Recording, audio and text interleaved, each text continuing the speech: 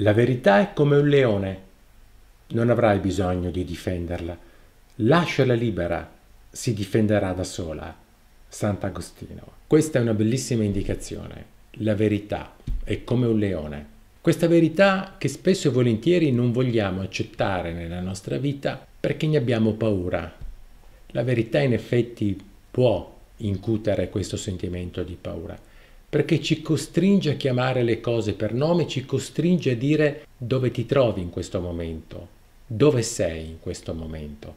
Sei nella verità dell'amore, nella verità della libertà, nella verità di una volontà tesa a costruire o sei da tutt'altra parte. Nella pubblicazione dove sei ho voluto proprio fare un cammino, nel chiamare le cose con nome, nel far comprendere quali sono le tappe che ci mettono nelle condizioni di diventare delle persone veramente libere. Io credo fermamente che la libertà sia un valore assoluto, ma che la libertà non è fare ciò che si vuole, la libertà è fare tutto ciò che ci permette di divenire fedeli a ciò che siamo allo scopo della nostra vita, ai nostri valori, ai nostri talenti, alle nostre aspirazioni più profonde. Dove sei? È la prima domanda che Dio rivolge all'uomo.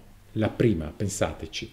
Come dire, se tu non hai un senso d'orientamento, come fai a muoverti? Ognuno di noi in realtà ha bisogno di porsi questa domanda.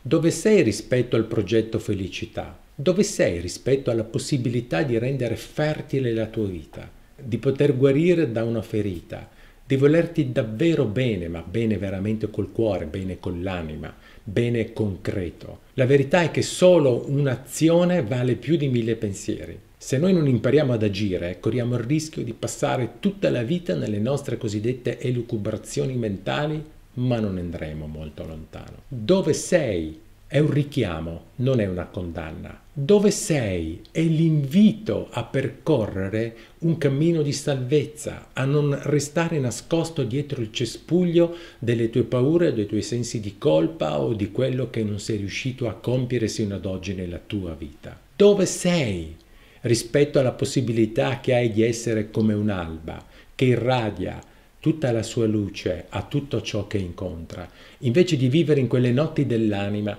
dove sembra che ci sia solo oscurità dentro e fuori di te, dove sembra che la rassegnazione, l'inutilità del vivere siano l'unica ragione di un inutile vivere. Dove sei è dunque una domanda che ci può aiutare a ritrovare l'equilibrio, l'armonia e la serenità, tre parole importanti, tre parole che donano stabilità, che donano una solidità dentro di noi, che ci mettono nella condizione di trovare finalmente un punto di equilibrio su cui regolare tutte le funzioni del nostro essere e del nostro fare. Desidero concludere questa breve riflessione leggendovi queste poche parole.